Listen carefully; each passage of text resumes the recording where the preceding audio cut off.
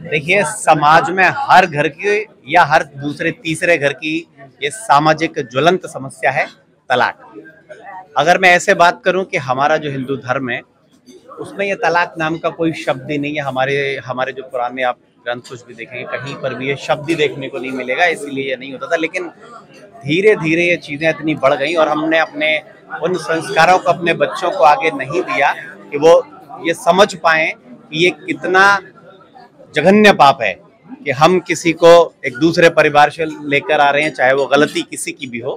तो ये जो तलाक है जो जो सेपरेशन है ये जो परित्याग है वो नहीं होना चाहिए। इसी सामाजिक मुद्दे को लेकर हम ये फ़िल्म बना रहे हैं जिसका नाम है तलाक अब नहीं। और जो जल्दी आपको देखने को मिलेगी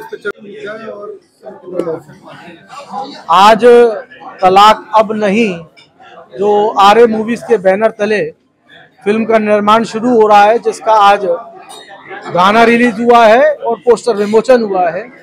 ये एक ज्वलंत मुद्दा है, जिसके अंदर जो नई पीढ़ी है, वहाँ पर अनगिनत तलाक के केसेस बढ़ते जा रहे हैं।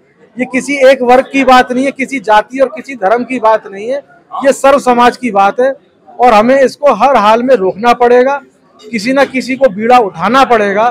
तो आज आर्य मूवीज़ ने ये बीड़ा उठाया है कि वो नई पीढ़ी को ये मैसेज दे कि तलाक अब नहीं, इसलिए हम ये फ़िल्म का निर्माण कर रहे हैं।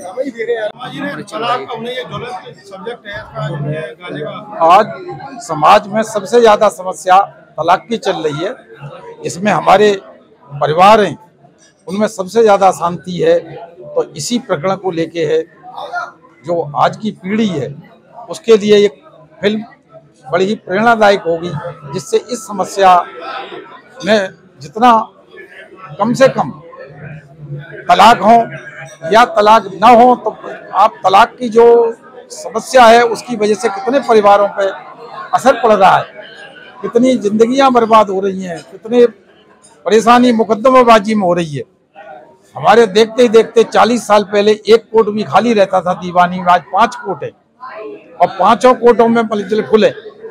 तो ये सामाजिक को मैं बहुत साधुवाद बधाई देता हूँ कि ऐसे जुलंद मुद्दे पे उन्होंने जो पिक्चर बनाई है ये पिक्चर ज़रूर हिट होगी और लोगों को ज़रूर प्रेरणा देगी। पर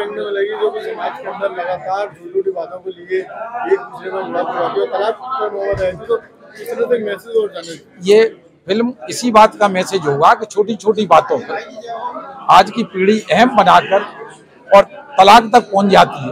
जबकि पति पत्नी के झगड़े आपस में जो आध अनाज से होते आए हैं। और वो आपस में चले बैठ के ही घर में सॉल्व हो जाते हैं।